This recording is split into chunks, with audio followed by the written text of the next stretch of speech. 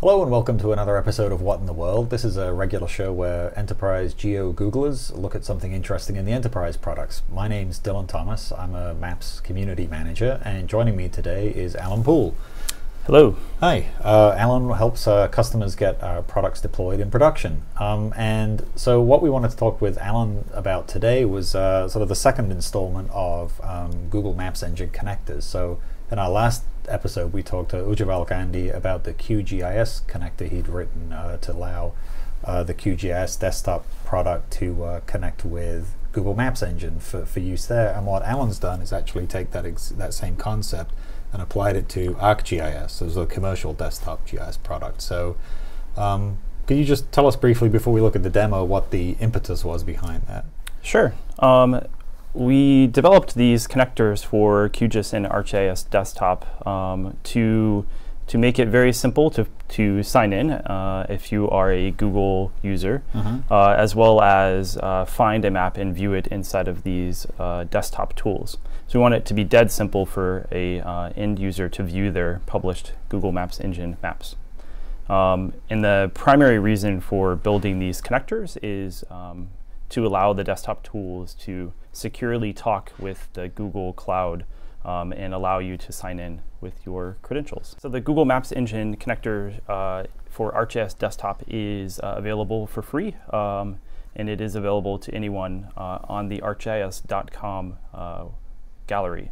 So if you go to arcgis.com um, and you search for Google Maps Engine connector, um, and you click on Tools, um, and you show ArcGIS desktop content, um, our tools will show up as well.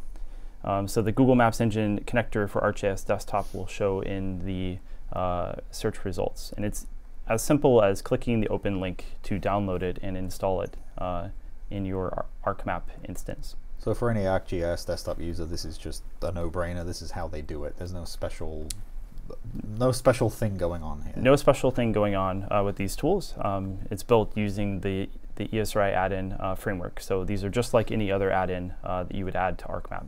So I'm going to uh, launch ArcMap. ArcMap to open ArcMap 10.2. And we'll give it a few seconds to load.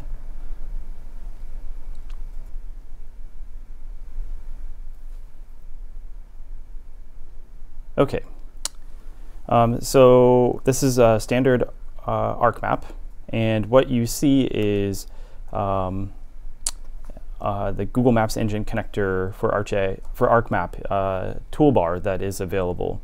Um, if you don't see the toolbar, um, you can right-click on uh, on the tool area, and it's available um, to turn on if you don't see it.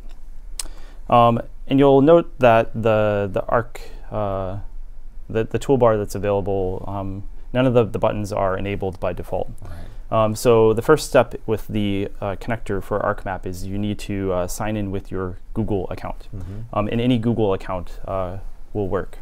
Um, so the first button uh, lets you sign in or sign out of your Google account. So I'm going to click the sign in button. Um, and since I've already signed in with my demonstration account, mm -hmm. um, my name is uh, remembered, um, but you could sign in with um, some Gmail account or some uh, Google Apps account as well. Mm -hmm. So I'm going to sign in and authenticate with my Alan Poole at altostrat.com account. And the second step is uh, you need to authorize the connector to access your Google Maps engine data. So I'm going to click accept. Um, and you'll note that the find uh, button becomes active. Um, so uh, once you're signed in, you're able to find uh, Google Maps engine maps uh, in any map, uh, any Maps engine account. So I'm going to click on the find button.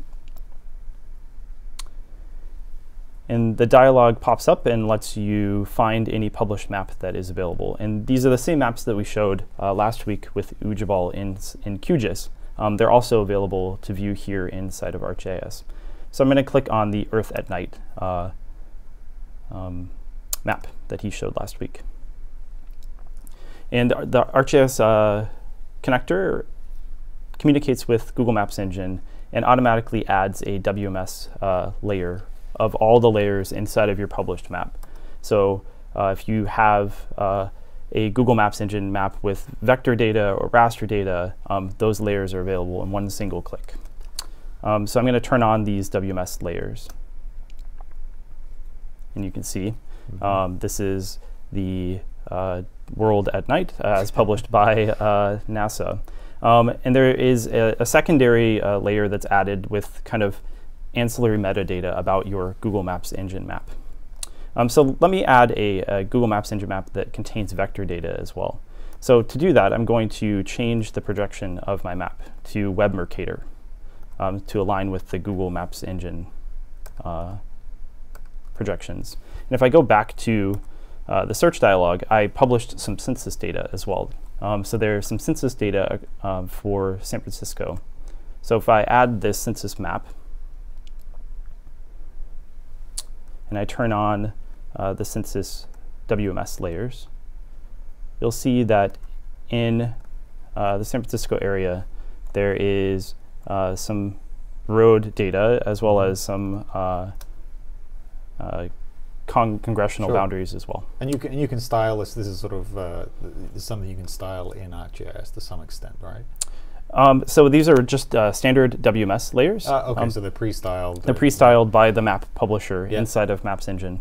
The the connectors work with both, uh, you know, raster layers and vector layers. And if you have uh, Google Maps Engine maps with one-to-many uh, layers, that works sure. fine as well.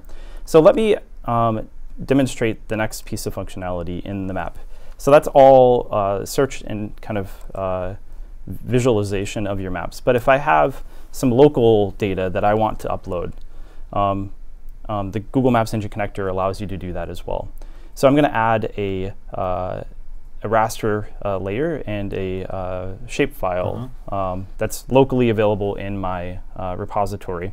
But this would work if you had uh, an enterprise geodatabase mm -hmm. like an mm-hmm. Oracle Spatial or uh, a file geodatabase, all that would work as well. So it's basically anything that the uh, ArcGIS recognizes as a as a feature class layer or a raster layer is going to be fair game to to upload. Exactly. Any native format that is uh, supported by ArcMap. Um, and if you add uh, a layer, you'll note that the interact button uh, becomes uh, active and you can actually interactively upload this data to your ArcMap or to your Google Maps engine uh, account.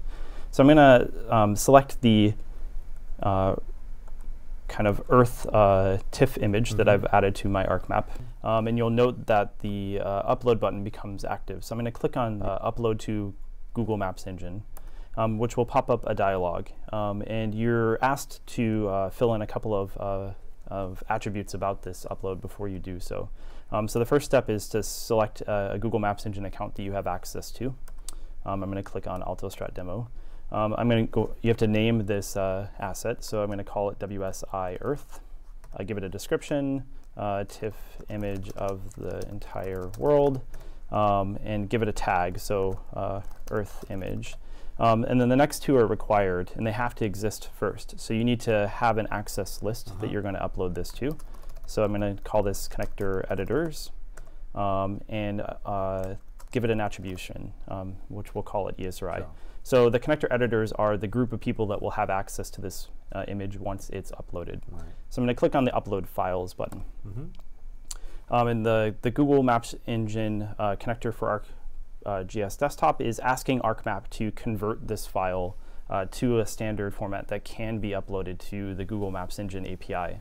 Um, so if it's in some strange file format that uh, ArcMap understands, um, we, we will ask ArcMap to convert it to something that is uh, supported.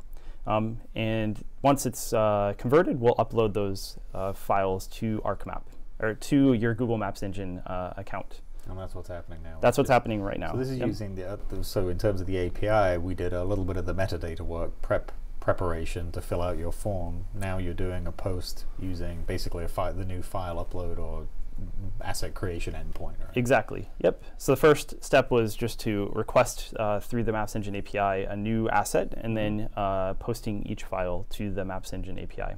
Um, and the last step is it opens it up in the uh, map publishers interface mm -hmm. inside of Google Maps Engine. You can see it's already starting to process nice. uh, for the map editor.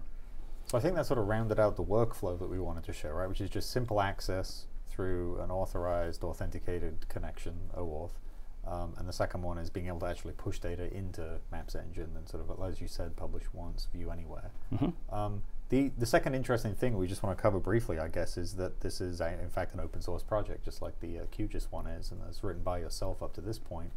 Um, I was wondering if you could tell us a little bit about that. You know, are you, are you accepting uh, pull requests? Uh, how do you see this growing from here? Yep. So um, there are uh, the the the Google Maps Engine uh, code for the ArcMap portion uh, is written in Microsoft.NET um, C Sharp, which Mhm. we think is very um, important for a lot of GIS professionals.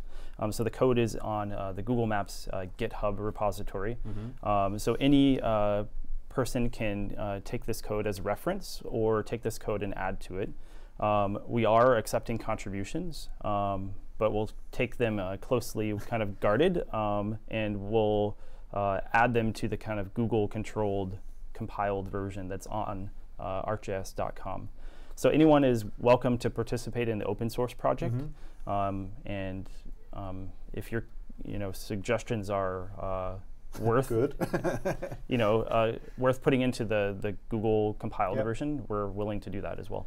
So the uh, just to sort of cl- the, the the version that someone anyone would download with no knowledge of the code, no knowledge of the API, they just want to download it to work with Maps Engine. That's going to be something that we will build, compile, and make sure is on ArcGIS.com. Right, and if anyone wants to add to that, we'll consider it.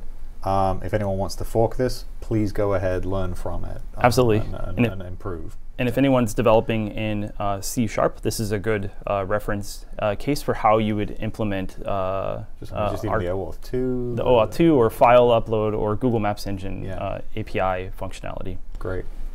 Alan, thanks for taking the time to show this to us today. It's really exciting. Uh, I'm glad we've got sort of the uh, the commercial side of this and also the open source side on uh, the QGIS. So uh, thanks very much, and uh, I think that's it for What in the World. We'll see you next time.